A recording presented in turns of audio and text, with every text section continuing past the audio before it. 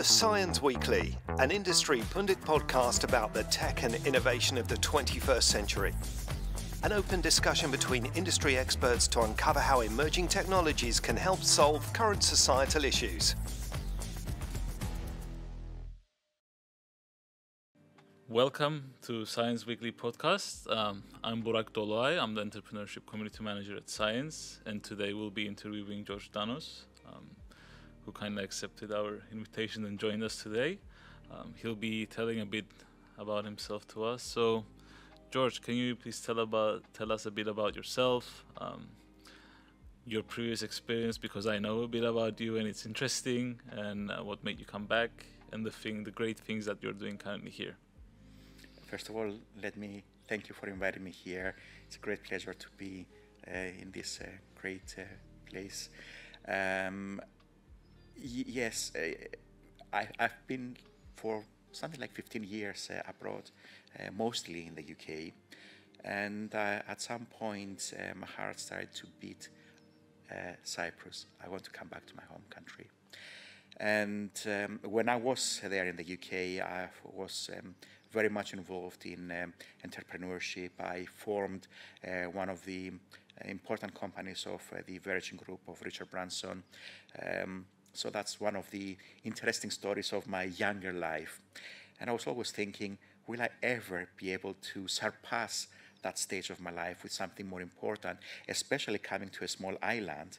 So um, I, I, never thought that um, anything of that past in the UK could have ever been uh, bettered here. But I came back, and I'm a very stubborn person. So um, uh, I looked at the whole scenery. What could be my contribution to this place that I very much love and I call home? Oh, that's amazing. And um, now you're you're the president of Cyprus Space Exploration Organization. That's correct. Yes. Can you please tell us a bit about what CSEO does? Uh, the Space Exploration Organization was uh, founded back in 2012. It took us a couple of years to go through the legalities and the, uh, the full registration. So um, uh, the activity started in 2013 and 14. And um, we, we, we have four basic pillars in CSEO. The first and primary one is outreach and education. Because if you don't uh, disseminate to people the importance of space exploration. If you don't attract them in what you do in space exploration, how do you expect to have the scientists that will take the research to the next step? So that's number one outreach and education. But the number two is research. And of course, everybody would say space research in Cyprus, that sounds a bit uh, exotic. So that was the second pillar. The third one is stimulating the industry creating startups, uh, supporting the existing businesses, attract other businesses to come and set base here in Cyprus. And the fourth pillar, international relations. So the first one with education and outreach sound very logical, but the rest were high goals. And yet again, here we are today, having at least in the first element, outreach and education, having achieved uh, at least two or three international wins at the level of NASA with the teams that we sent to the international competitions, the Space Apps uh, Challenge, which is also running um, this uh, coming weekend.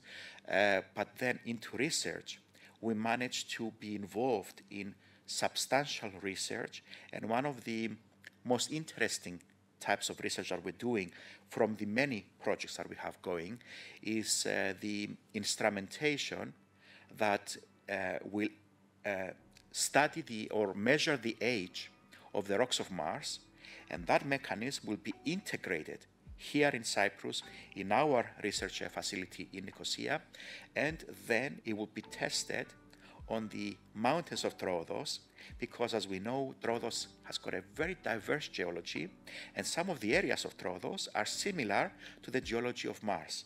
So, therefore, imagine a mechanism that we're going to a future mission to Mars to be integrated here and tested here in our mountains. It sounds a bit like science fiction happening in Cyprus. Yes, it is a bit of science fiction, even for us. Wow, it's, it's amazing and it's, it's great news. But when, when we talk about space, okay, we know space is reachable, but it, it sounds unreachable. Yes. Um, so when we tell people we have this program, you're, you're doing outreach, you're cre- creating awareness, and then educating people so they can contribute. But let me ask you a bit of like a cliche. Does somebody need to be a rocket scientist to participate in these programs or create solutions to contribute to space mission? Or what would be some of the areas that people can work that are not directly related with engineering only? Um, every time I speak to somebody and I say we're dealing with uh, space exploration, uh, the first question they say, "Oh, so you must be an astrophysicist." And then the second question, oh, so if you're not an astrophysicist, you must be a rocket scientist. So, no, neither of the two are necessities in order to be involved in space research, space engineering, space diplomacy. You need the entire spectrum of um, uh, specializations from being a doctor, being a physicist, being a lawyer. Who's going to do the contracts to go to space? Uh, being a marketeer, um, and all the rest, of course, that are, expected material sciences, engineering, computing, data analysis, uh, rocket scientists, astrophysicists. But I'm leaving those two for last because all the rest are equally important. And when we also set bases, which is happening right now, when we set bases on the moon, we're going to also need cleaners, builders. Who's going to build those bases? So every single profession, almost every single profession that we have done here on Earth is applicable in what we do in space exploration. And the difference between space exploration and astronomy, astronomy is the science of studying the heavens, studying the movements and motions of the planets and the stars and the galaxies. We do that from Earth, from here looking upwards. But space exploration is actually going there. So imagine all the skill sets in order to achieve that goal to get to the celestial bodies, to other planets, to maybe even one day outside our solar system. That's that's amazing. Maybe I'll find an idea one day to contribute to this uh, mission. So, what has been done so far in Cyprus to contribute to the global space mission, um, and what benefits does Cyprus have to offer to anyone looking to come and work here in space-related projects? Uh, that's a, a, very interesting uh, question because indeed, when we first started, we never thought that um, we could have done something more than maybe facilitate a bit of a, a conference here, a conference there, regarding the international aspect, of, of course, which is the fourth pillar of international collaboration. But yet again, what we achieved in 2018 surpassed any of our expectations and what is happening right now even surpassed 2018. So what happened back then? Um, we knew, I knew, from all the different meetings that I have internationally and the different roles that I have in international committees, uh, chairing a couple of uh, committees. For example, I'm uh, vice chair of the International Committee for Innovation at the uh, space organization, the, the, the, the, International Space Organization called COSPAR. So in those meetings, we knew that the international community needed um, a call it a bridging, a facilitation, a neutral place where they could cooperate. So we invited all the top scientists, the chief scientist of NASA, his counterpart from the Russian Space Institute, from Europe, from China, from India, from Canada, from all the different parts of the world, the countries that are actually leading in space exploration. And we had them here in Cyprus in what we call the International Space Summit. And after a week of activities, meetings, research, etc., which went very well, and they were very happy, and they also observed the hospitality of Cyprus. We made sure that we um, catered them with some of our best uh, delicacies, definitely cheftalia. so we also made sure that we took them to some of the best uh, beaches to swim, like uh, Beach in uh, um, uh, Protaras. So they loved it. They absolutely loved it. So they realized they could do the job. They could meet between the different countries. They had the beautiful sun, good food, good hospitality, and beautiful places to relax in the, uh, on, the, on the coast. So on the last day, we, we, we asked the most important question Do you want this place to be your permanent base? And make this your headquarters. There was a high level meeting between the leaders of all these countries, and it was the unanimous decision by all of them, and it was actually asked firstly by the chief scientist of NASA and answered then by the Russian Space Institute, and they both agreed in a very strong way. And then everybody else also agreed. And as of 2018, Nicosia, Cyprus is the base of the Mars Upper Atmosphere Network that studies the atmosphere of Mars, and it's based here from all these big bodies. Wow. And there are many more things that I could actually say, but um, there will be announcements in in the next uh, few uh, weeks and months because more things are coming on top of what I just said. Wow, that's that's amazing. I'm looking forward to hear what what else is coming after this. Um, before I go to the next question, it might worth also mentioning if we want to hear what these news are, where do we find you? How can we hear your news? Okay, very interesting one. Um, I would say the best way to hear the news of the organization uh, would be to follow the organization on social media. Uh, we're particularly proud that uh, we are um, one of the top organizations in the world in our dissemination of international news and our own news. So if somebody wants to follow what we do, um, all you have to do is go to Facebook and look for Cyprus Space Exploration Organization and you will see that there's approximately 300,000 people from around the world that engage our news on a uh, daily basis. Wow, that's yeah, most of the cities of Cyprus all together on Facebook. Correct. Yeah. and, and, and let me say at this point that uh, um, we may have this number of followers, but on a, on a monthly basis, the statistics uh, say that we have two and a half million people that read our news. So it's not just the followers, but it's the friends of the followers. So that's more than the population of Cyprus. Yes, definitely. That's yes. amazing. Um, the time is going fast. So before we close, um, we also know that you have another responsibility, a very important one for the country. Um, you're working both hands hands-on in the field to help people innovate and create businesses and projects to contribute to the space mission, and at the same time you're contributing to the policy work to shape the future of um, Cyprus by being the, the president of Parallel Parliament of Entrepreneurship and Innovation.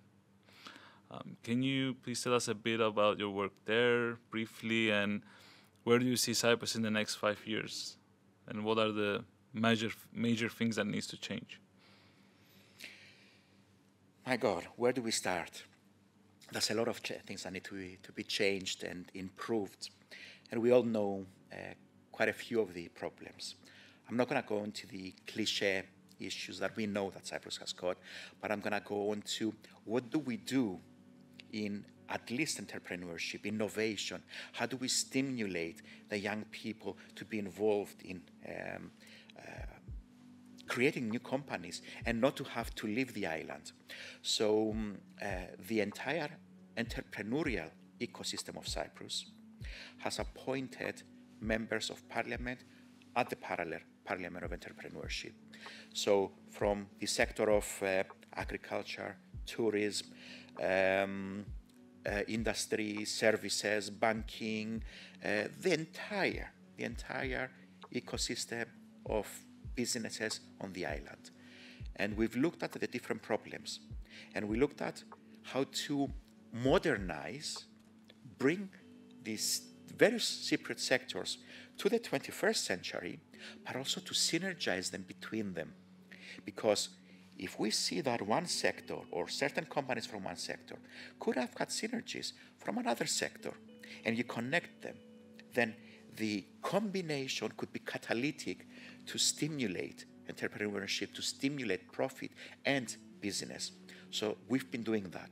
But at the same time, we've been listening to the problems, trying to solve them, and most importantly, we've been running various um, activities that bring in the young people to make sure that we support them and have created a, an infrastructure, a framework that will support these people to build their companies, um, get them up and running, um, support them through the life cycle of what they do, and then help them even with the funding and bringing them connections from around the world in having clientele. So it's not just about saying, hey, we gave you funds, we gave you 100,000, we gave you 200,000. Just go and do everything on your own. You have to be there and also make sure that the system is functional for them and not dysfunctional in their needs. that's that's the best way to approach, I guess. That you see the needs of all the stakeholders, you engage them together, and then you make sure that they all get what they're looking for in, in order to succeed. Wow, amazing. Um, thank you very much, George. Um, this was great. Um, I would love to hear more. I'm already following you on Facebook, um, so I'll be uh, looking forward to hear the upcoming news and you know doing things a Cypriot way when Mars travel is um, available for public. I'm going to call you to see if you have any connections for cheaper tickets or which company to go with. So expect expect my call. Let me add at this point that uh, you're doing an amazing job here at Cyprus Inno, but also uh, the CYENS Center of Excellence is doing an amazing job and bringing together players that can work together and magnify the results is the right way to go forward. Cooperation is the name of the game. Definitely. Thank you so much. Thank you. This podcast is brought to you by CYENS, former RISE, the Research Centre of Excellence in Cyprus, focusing on interactive media, smart systems, and emerging technologies. For more information, please check our website on cyens.org.cy.